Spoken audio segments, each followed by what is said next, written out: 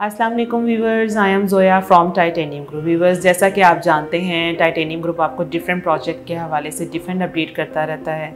आज का जो मेरा टॉपिक है, जो मैं आपसे डिस्कस करने जा रही हूँ, वो कैपिटल स्मार्ट सिटी इस्लामाबाद के हवाले से है।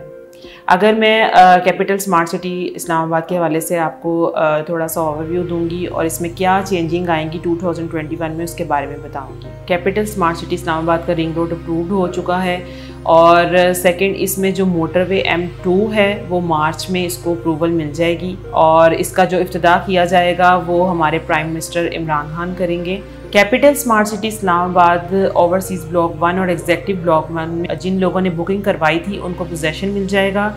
और जिन लोगों की ऑलरेडी इसमें फ़ाइल्स थी उन, उनको इसमें प्रॉफिट गेन होगा। कैपिटल स्मार्ट सिटी इस्लामाबाद में इनकमिंग रेजिडेंशियल प्लॉट्स आएँगे जो कि एक से दो कनाल के होंगे। इसमें गोल फेसिंग जो विलाज हैं वो लॉन्च होंगे।